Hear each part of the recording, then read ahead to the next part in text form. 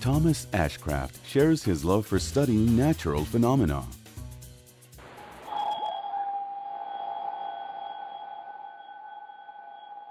I'm very blessed to be an observer of shooting stars. Everybody says, oh, wow, did you see that? Shooting star. The heart lights up.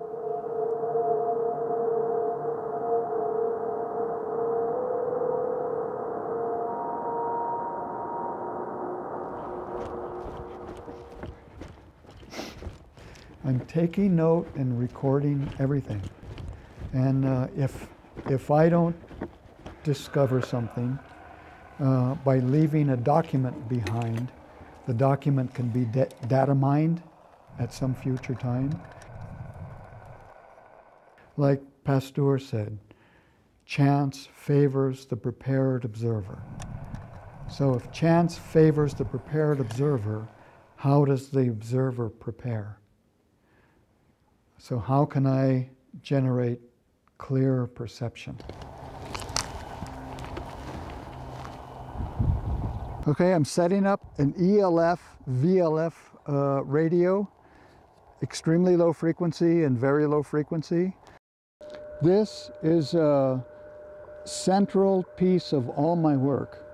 Um, it's a shortwave radio that's tuned to coordinated universal time. So that means that all in all the experiments that are happening, they're all tuned to this time constant. At the 18 hours, 0 minutes, coordinated universal time. Doesn't matter where you tune in, now we're tuned in. There's optical astronomers and radio astronomers. They tend to be either one or the other, and there's potential new informations in the marriage of these disciplines.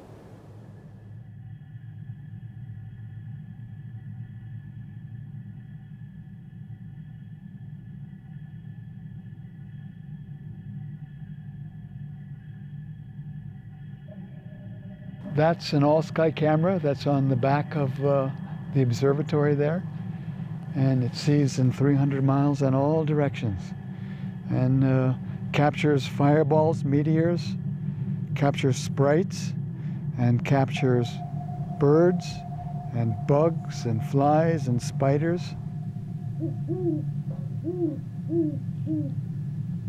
After running that all-sky camera a few years, I started to notice these light flashes on the edge of the field of view.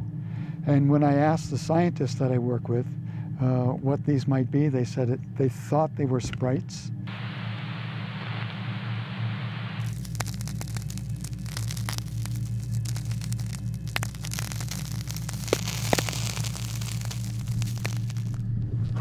Uh, this is part of my all-sky observatory. Those are my specifically my Sprite cameras and my gravity wave cameras.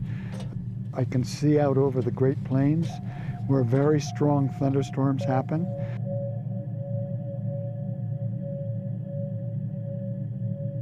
They can see all the way to just beyond Oklahoma City. A Sprite, they're huge. They're like 40, 50 miles high in the mesosphere. They can be 60 miles across.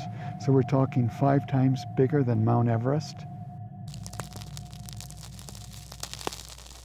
They form as balls of plasma. They're luminous, they're light, and they last for, you know, less than a hundredth of a second.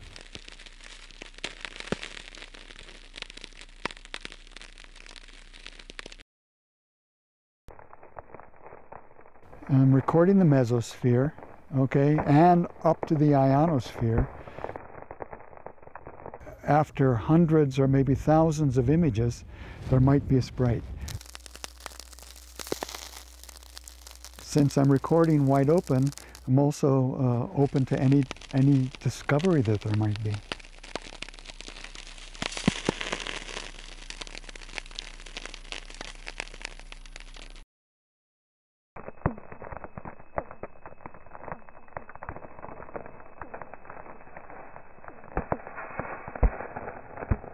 Poem by Walt Whitman called Beginning My Studies. He says, Beginning my studies, the first step pleased me and awed me so much that I have hardly gone and hardly wished to go any farther, but stop and loiter all the time to sing it in ecstatic songs. I think that guided Whitman and his loving acceptance of the cosmos. So I think that there's, you know, if we wanted to bring it back to art or singing or poetics or natural inquiry, there's a great feeling of love that I have in all of these studies. And uh, that's a byproduct and uh, a blessing. It's an engagement with the world, just this blooming, buzzing, this phenomena, this stuff of the cosmos. Why are we here? Why are there these forms? We're alive. This is what we experience. From there, it's the mystery.